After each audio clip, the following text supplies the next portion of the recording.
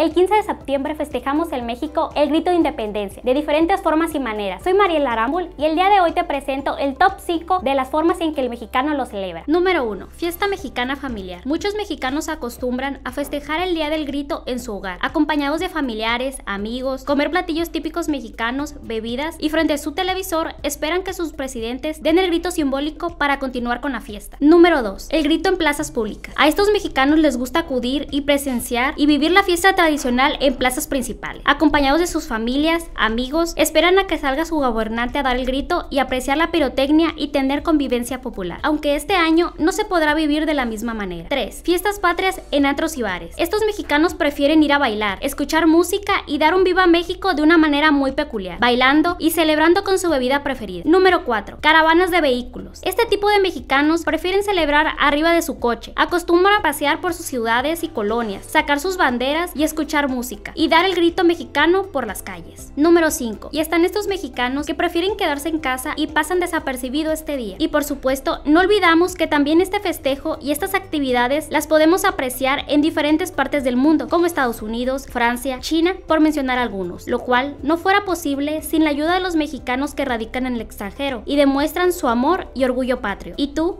¿Qué tipo de mexicano eres?